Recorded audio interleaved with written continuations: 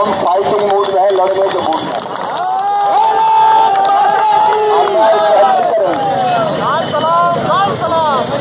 बर्दाश्त नहीं करेंगे। हर ज़ोर जुलूम की टक्कर में एक नारा लगाऊँगा जुलूम के आगे, आप लोग कहेंगे, नहीं झुकेंगे। जुलूम के आगे, जुलूम के आगे जुलूम के आगे और जुलूम किया तो और लड़ेंगे जुलूम किया तो जुलूम किया तो जुलूम के आगे जुलूम किया तो मेरे प्रिय बहनों और भाइयों मैं की बहादुरी को भी प्रणाम करता हूँ, वो सबसे पहले काली वाली बस पे जाकर बैठ गई गिरफ्तारी देने के लिए। आज संघर्ष का हमने संखनाद किया है।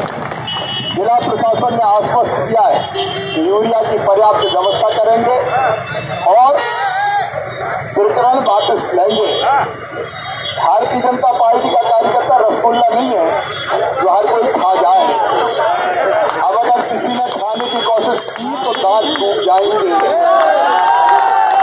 कहीं भी मेरे कार्यकर्ता के साथ। अगर अत्याचार अन्याय हुआ तो वह हम प्रशासन से लड़ेंगे, सरकार से लड़ेंगे और विवश करेंगे कि ना तो कार्यकर्ता को दबाया जाए, न झूठे प्रकरण बनाए जाए और यूरिया की व्यवस्था सागर सहित कमलनाथ जी पूरे मध्य प्रदेश में चाहिए।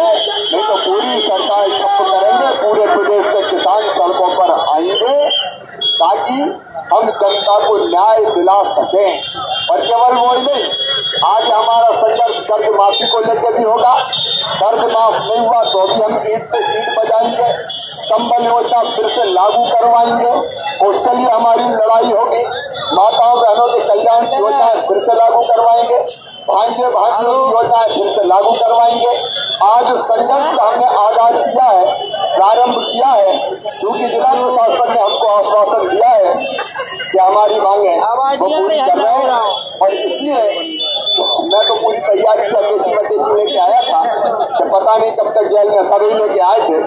लेकिन वो आश्वस्त कर रहे हैं कि मांगे पूरी होगी। पर्याप्त मात्रा में यूरिया की व्यवस्था की जाएगी और झूठा प्रकरण नहीं चलेगा।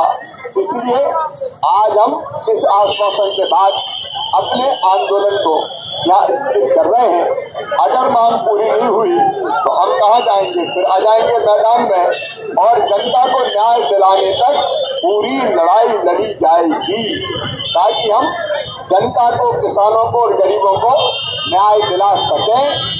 आप सबने इस आंदोलन में बहुत साल तक इसका जो एक दिन इस समय मिला था, आपने भाग लिया।